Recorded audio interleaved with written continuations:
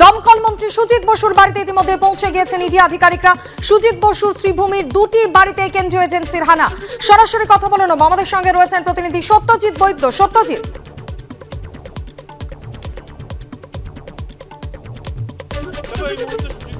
বাড়িতে থাকেন, তার যে বসত বাড়ি, তার সামনে আমি দাঁড়িয়ে আছি এবং তুমি দেখতে পাচ্ছ যে কেন্দ্রীয় বাহিনীর জওয়ানরা তারা রয়েছেন এবং সাতটা বাজার বেশ কিছুক্ষণ আগে ইডির আধিকারিকরা তারা পৌঁছে যান।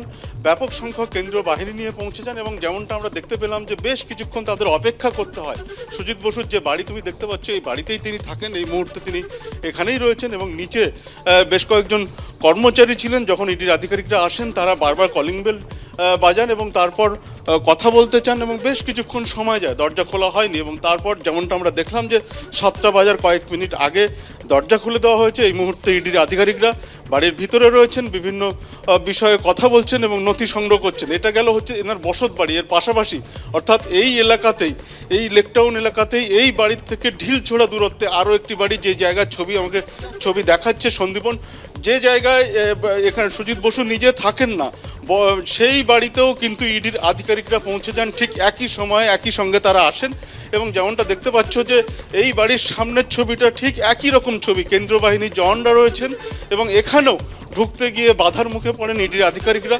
যারা কর্তব্যরত কর্মচারী ছিলেন, তারা কিন্তু সেই মুহূর্তে ঢুকতে দেননি এবং তারপর বেশ কিছুক্ষণ কথাবার্তা হয় এবং ইডির আধিকারিকরা তারা নিজেদের পরিচয় দেন, কি বিষয়ে তারা এসছেন সেই সমস্ত কথা হয় এবং তারপর আমরা যেমনটা দেখলাম ঠিক একই সময় এখানে ঢুকতে দেওয়া হয়। ঠিক কি কারণে ইডির আধিকারিকরা এসছেন?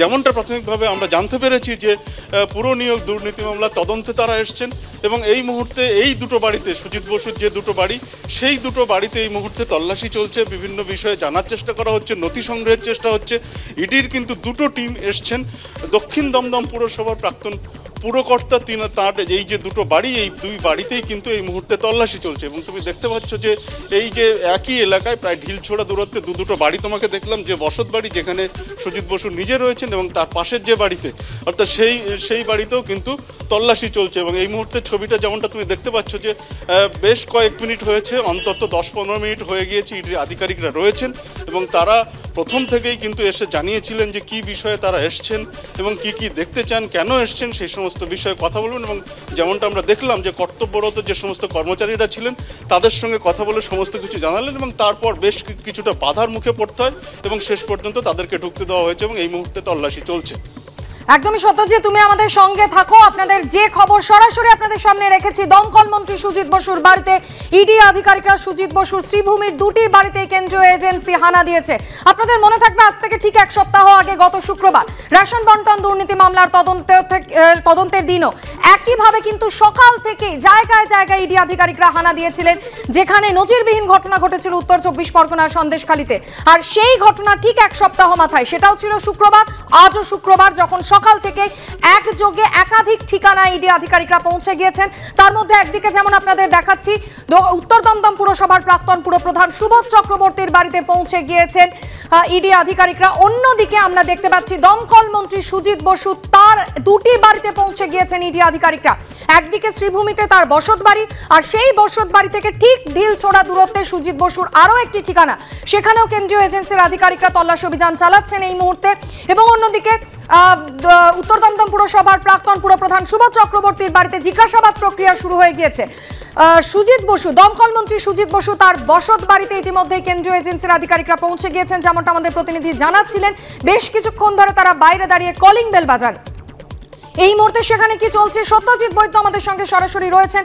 শ্রীভূমি থেকে। সত্যজিৎ, তুমি যেমনটা বলছিলে, সুজিত বসুর একদিকে বসত বাড়ি, অন্যদিকে সেই বসত বাড়ি থেকে ঢিল ছোড়া দূরত্বে তার আরও একটি ঠিকানাতে ইডি আধিকারিকরা।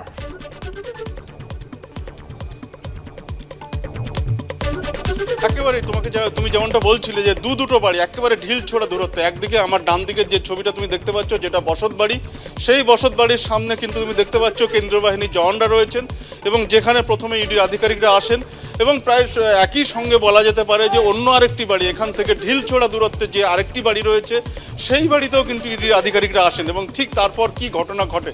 ঠিক সাতটা বাজার মিনিট কুড়ি আগে ইডির আধিকারিকরা আসেন। ব্যাপক সংখ্যক কেন্দ্র বাহিনীর জওয়ান ছিলেন এবং সেই সময় যেমনটা আমরা দেখি দু দুটি বাড়িতেই কিন্তু তারা বাধার মুখে পড়েন।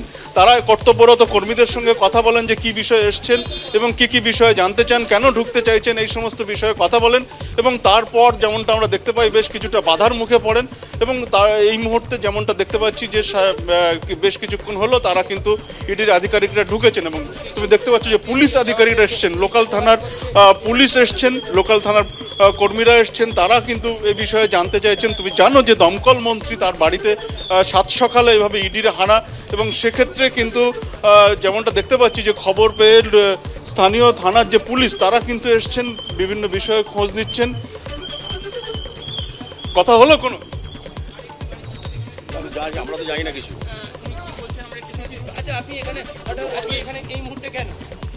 আমরা জানি না কিছু, এখানে খোঁজ নিতে এসছি খোঁজ নিতে এসছি